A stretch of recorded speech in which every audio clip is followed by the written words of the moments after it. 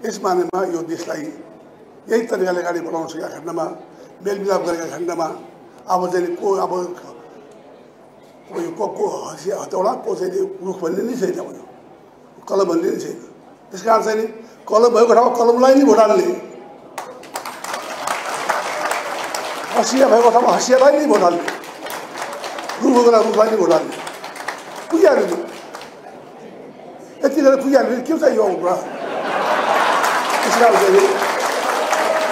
धेरै कुरा तपाईँहरूले बोलिसक्नु यस कारण चाहिँ मैले समय पनि मेरो धेरै छैन अरू काम पनि साम्रो त्यस कारण चाहिँ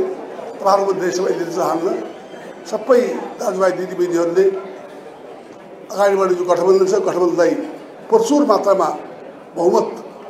दिलाएर देशलाई अझ स्थायी रूपमा अगाडि बढाउनको लागि स्थायी शान्ति स्थायी डेमोक्रेसी स्थायी गठबन्धन अगाडि बढ्नलाई लाग्दोला भन्ने हार्दिक कामना गर्दै व्यक्त गर्दै धन्यवाद जय नेपाल जीले दुईपल्ट यो चाहिँ भङ्ग गरिदियो पार्लियामेन्ट यो जनताले चुनेको संसद मनपरेर गरेर भङ्ग भङ्ग थाल्ने थाल्ने हुनाले नै यो संविधान बनाउँदाखेरि